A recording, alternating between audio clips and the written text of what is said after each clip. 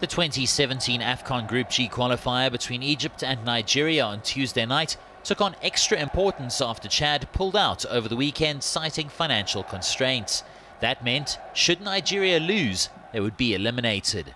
Facing an uphill battle in Alexandria, the visitors were under pressure from the start as Egypt threatened with a number of chances. Nigeria were not without their own though. Odion Ighalo should have done much better with his effort as the Watford man squandered the Eagles' first real opportunity.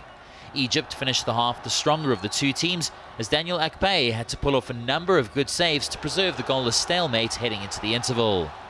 The hosts could have opened their account after the restart, but Arsenal's Mohamed Elneny was off target.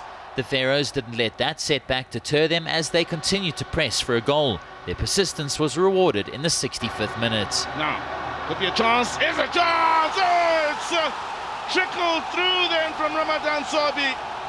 They couldn't deal with what wasn't a well-connected shot, and by the time it came through the defense, Daniel Akpeyi had very little time to react, seeing it late.